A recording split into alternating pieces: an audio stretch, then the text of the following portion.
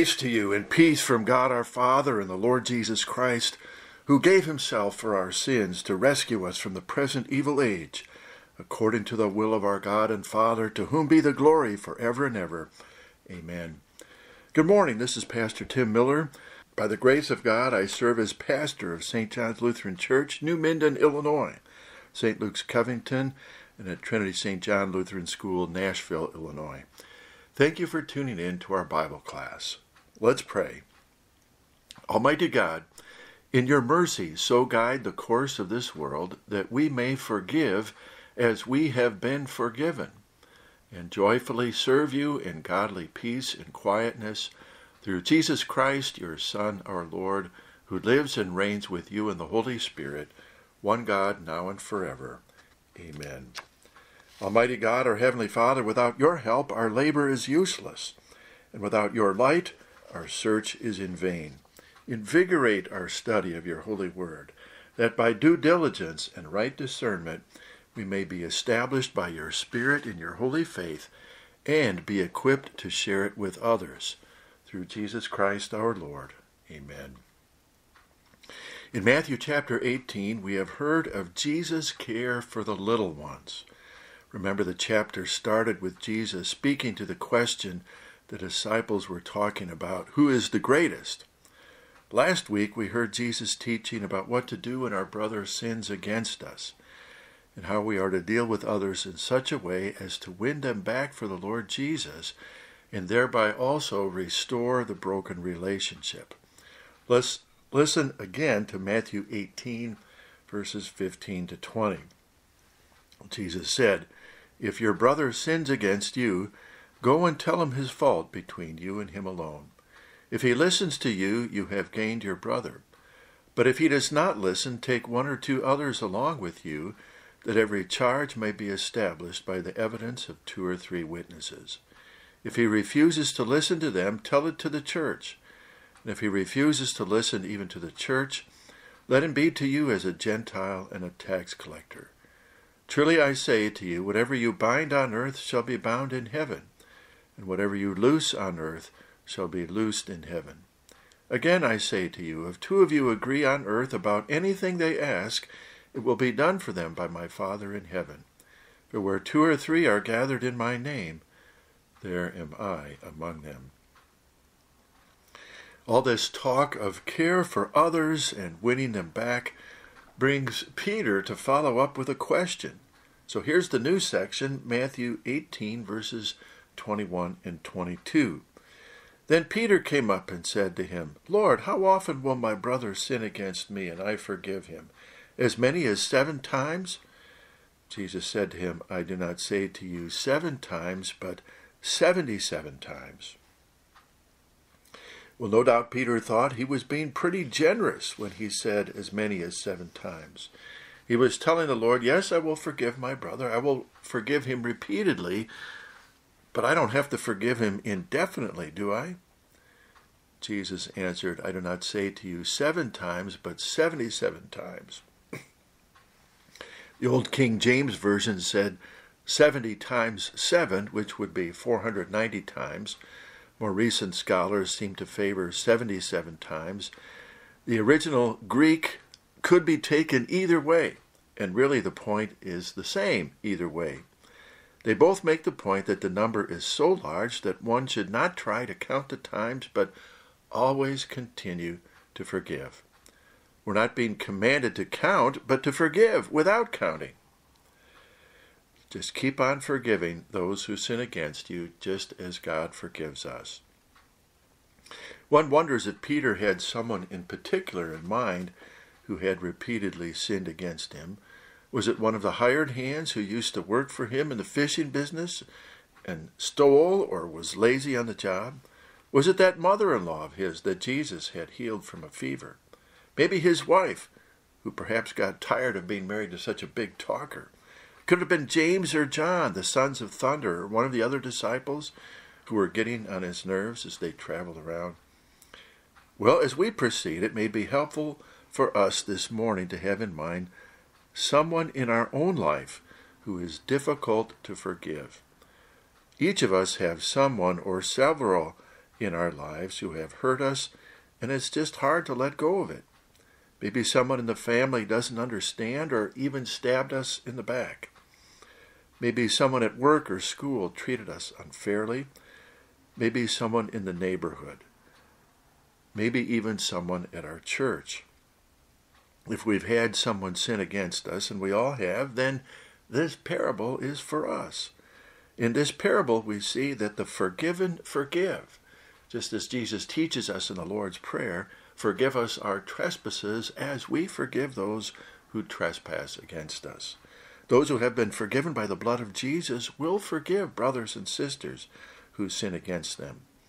Jesus explains with a parable. Matthew 18, beginning at verse 23. Therefore, the kingdom of heaven may be compared to a king who wished to settle accounts with his servants. When he began to settle, one was brought to him who owed him ten thousand talents. And since he could not pay, his master ordered him to be sold, with his wife and children and all that he had, and payment to be made. So the servant fell on his knees, imploring him, Have patience with me, and I will pay you everything. And out of pity for him, the master of that servant released him and forgave him the debt. The parable begins with a day of reckoning. The first thing to understand here is that the time will come when our king will settle accounts with all his servants. God is the king, and we're all accountable to him. Every person is accountable to the Lord who made them. Person may not believe that there is a Lord who has made them, they may fool themselves into believing that they can set their own rules and standards and are accountable to no one. But the truth remains, 2 Corinthians 5, for we must all appear before the judgment seat of Christ, so that each one may receive what is due for what he has done in the body, whether good or evil. The truth is that each one of us will be called at some point to stand before the Lord as judge. He'll settle accounts. It will happen when our time on this earth comes to an end, either through death or through the end of the world. What will the Lord find? Well, what did he find with this servant in the parable? Now remember, in the parables, Jesus uses common everyday things, but often there is one detail that is totally unrealistic in terms of human life and relationships.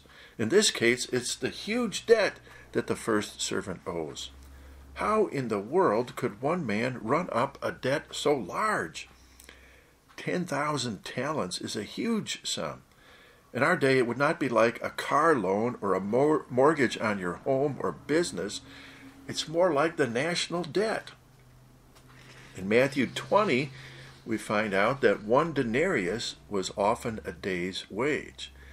And by one account, one talent was worth six thousand denarii. In other words, if it were possible for this guy to work 365 days a year, it would still take him 164,384 years for him to repay the debt. That is a ridiculously large sum.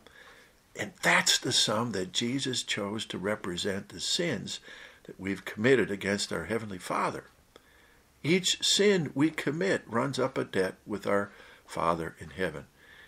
In Matthew 6, Jesus taught us to pray, Forgive us our debts. Remember, He is the King to whom we're accountable. He's entirely just and fair. He's given us commands about what we're to do and not to do. He's our Maker. He has the authority to demand that we to demand that we keep his commandments perfectly. Every time we fail in our thoughts, our words, our deeds, this is added to the debt that we owe. He himself is eyewitness to each one of our misdeeds. He is able to keep track of them all and come up with a complete itemized bill for what we owe against him. We have run up a ridiculously large debt with our Father in heaven. David the psalmist said, Psalm 40, My iniquities have overtaken me, they are more than the hairs of my head. As we say in the Catechism, we daily sin much, and indeed deserve nothing but punishment. There are many sins we commit that are a slap in the face of the holy God, and we might not even realize that they're sins. Well, what does the king do? The king is just, he's fair, He believes in settling things in a fair way, so in line with the laws of that day, he gives the command that the man and all he has be sold until the debt is repaid. What does it say about us? Before the judgment seat of Christ, it says, We deserve to go to hell for all eternity. That's the just and fair response to our sinful lives. But wonder of wonders, this is not how the reckoning ends. Jesus continues, So the servant fell on his knees, imploring him, Have patience with me, and I will pay you everything. And out of pity for him, the master of that servant released him and forgave him the debt. God has, through his only begotten Son, released us of our debt. In 1 Peter 1 it says, For you know that it was not with perishable things, such as gold or silver, that you were redeemed, but with the precious blood of Christ, a lamb without blemish or defect. 2 Corinthians 8, You know the grace of our Lord Jesus Christ, that though he was rich, yet for our sakes he became poor, so that you through his poverty might become rich. In Christ we have redemption through his blood, the forgiveness of sins in accordance with the riches of God's grace. Ephesians 1. The word redeemer is a word that has to do with buying and selling. It was someone who paid a price to buy someone out of slavery. Jesus paid the price to buy us out of slavery to sin, death, and the power of the devil, the devil, that great accuser. There's no price tag that can be put on the payment he made. It's the precious blood of the eternal Son of God, sufficient to pay for the guilt of every human being who ever lived or ever will live. Through faith and trust in Jesus Christ, this gift, this payment, is counted toward us. In view of this payment, the Father has canceled all that debt of ours. He guaranteed it by raising Christ from the dead. Heaven is ours. Christ's holiness is counted as ours. We're free what a wonderful turn of events for the servant with the huge debt. What a wonderful turn of events for us. Now, another way of describing the forgiveness of sins that Jesus has earned for us is to call it the rest that we find in Jesus. Here, the students at the Lutheran Theological College of Uganda sing about that rest in the hymn, I heard the voice of Jesus say, Come unto me and rest. I heard the voice of Jesus say,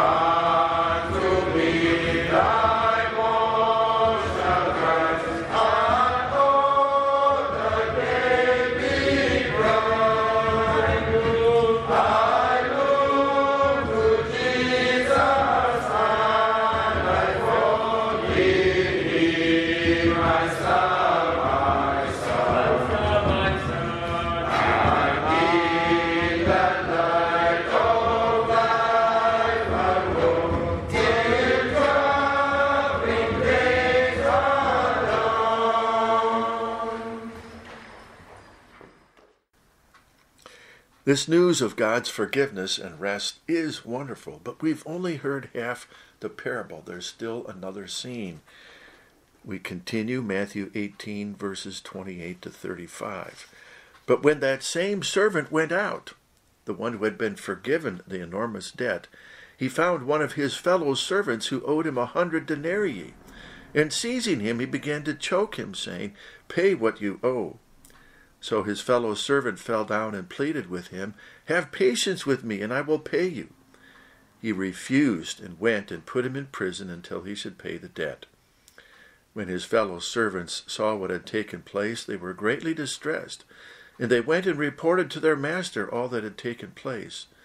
Then his master summoned him and said to him, You wicked servant, I forgave you all that debt because you pleaded with me. And should not you have had mercy on your fellow servant as I had mercy on you? And in anger his master delivered him to the jailers until he should pay all his debt.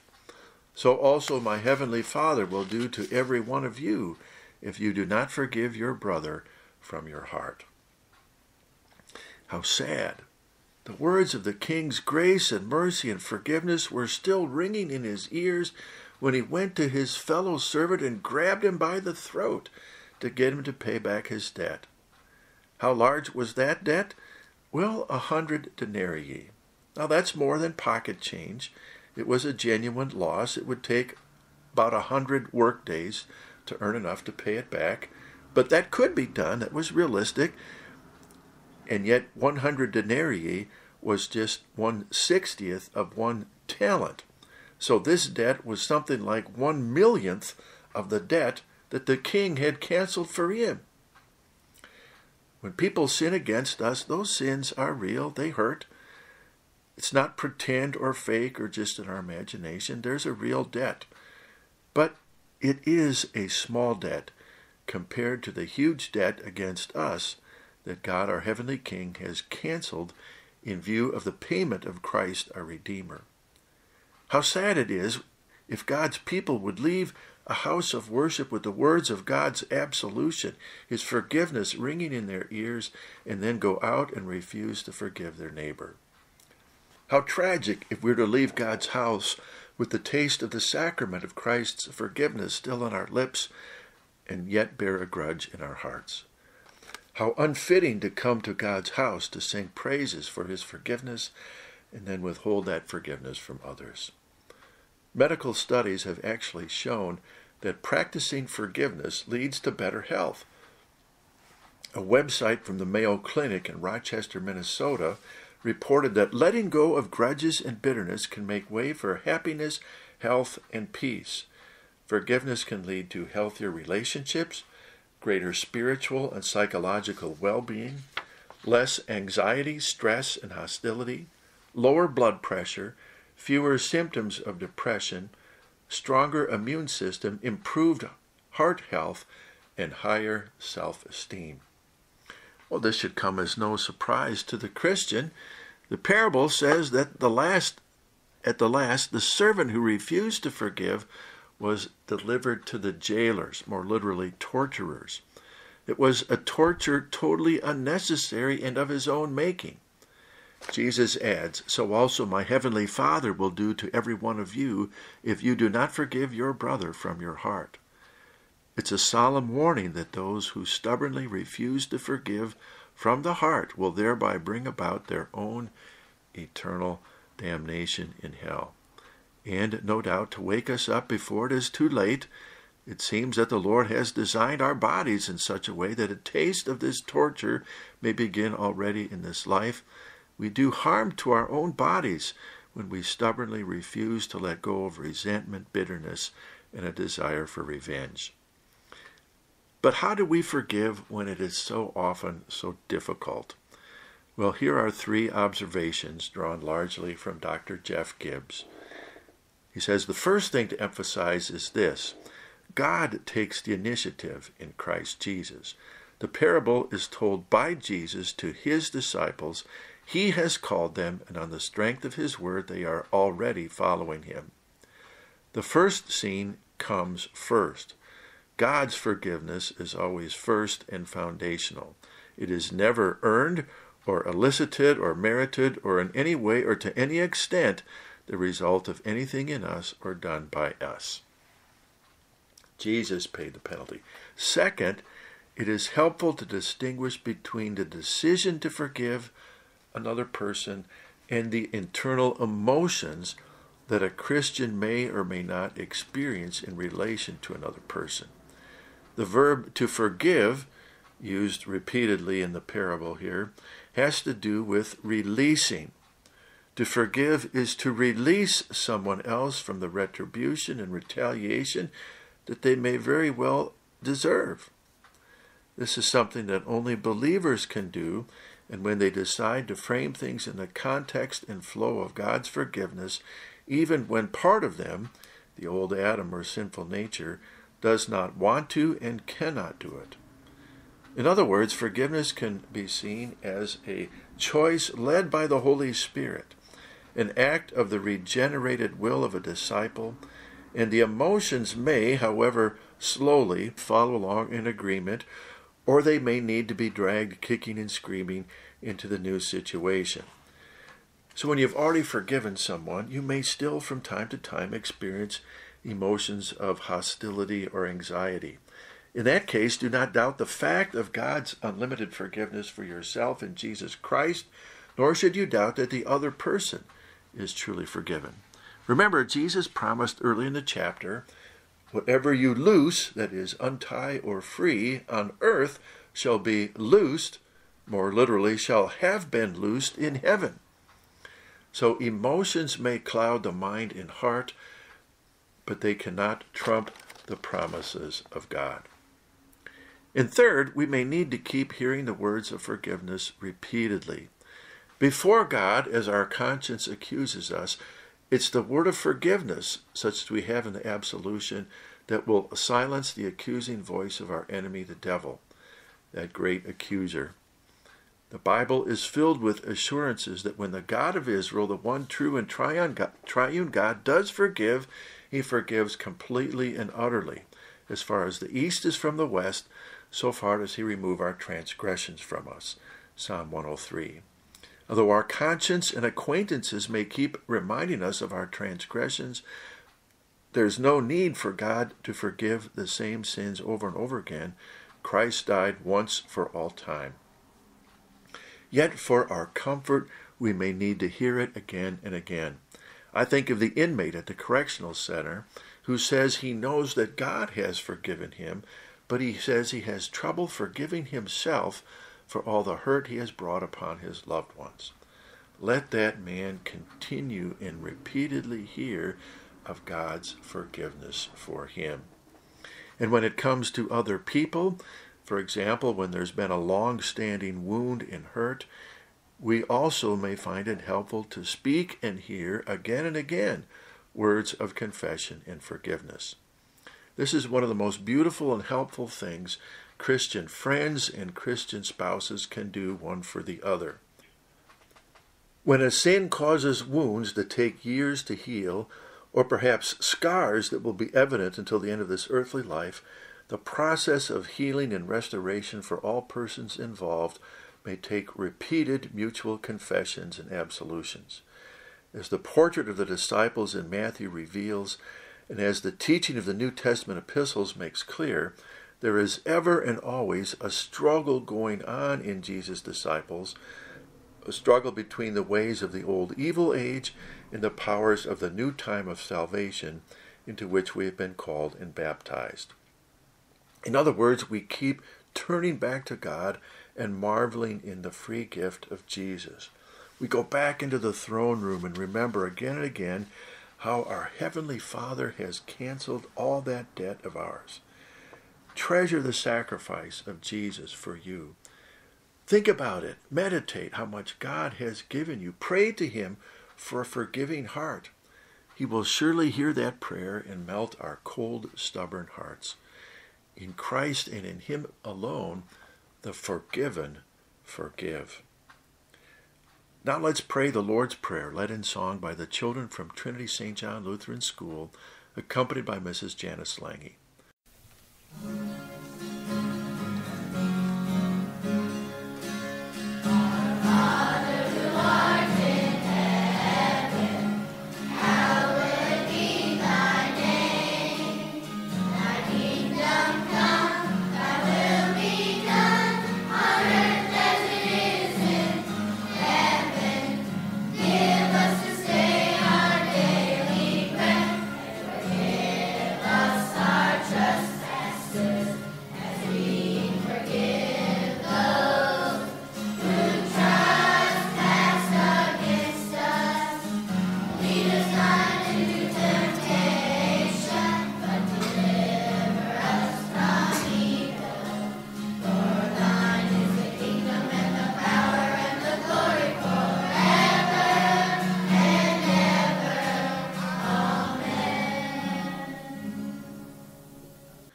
Receive the benediction of our Lord.